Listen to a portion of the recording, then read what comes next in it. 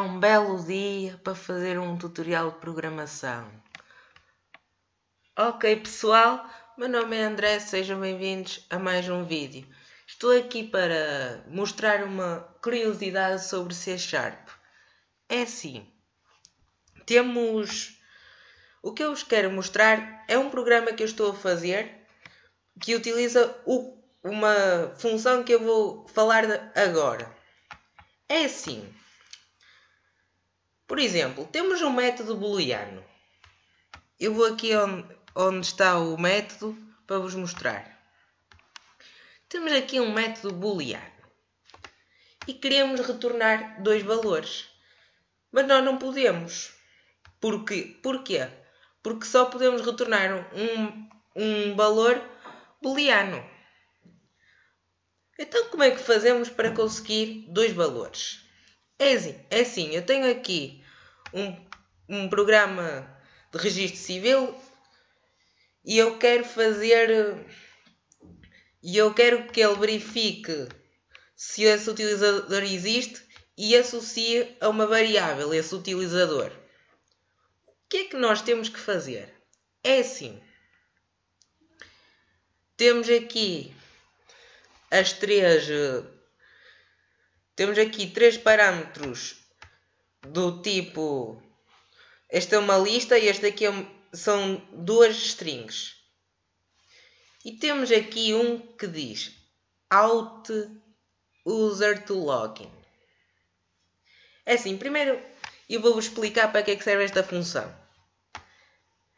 Isto aqui vai verificar se, se existe na base de dados o utilizador o utilizador que tem que está escrito que tem o nome e a palavra passe correspondente às duas caixas de texto e vai retornar o utilizador e o parâmetro booleano.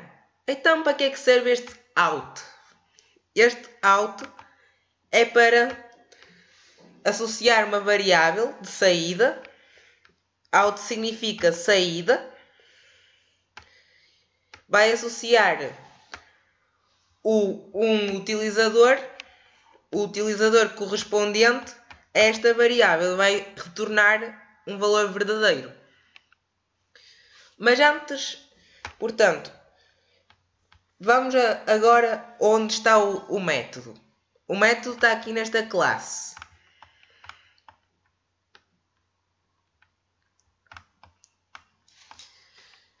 Temos aqui vou-vos explicar uma coisa.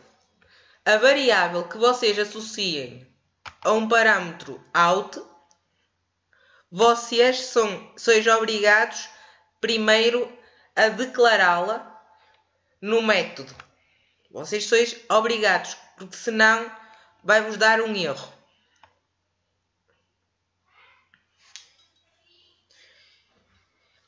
E agora vou explicar. Agora está, está aqui está aqui o, a nova associação. O, e quando é que essa associação acontece?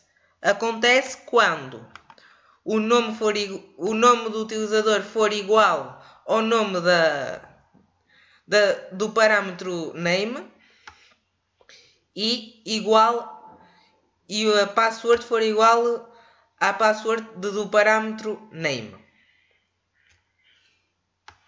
E ele aqui associa. Depois retorna, retorna verdadeiro. E temos aqui a, o, o utilizador. É uma boa forma de buscar valores a métodos booleanos. Mas vocês também podiam fazer isto com inteiros, podem fazer com qualquer tipo de método.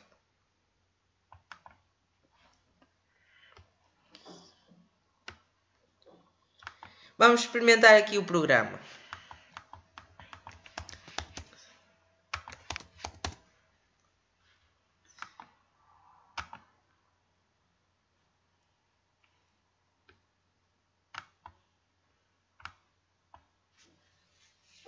Vê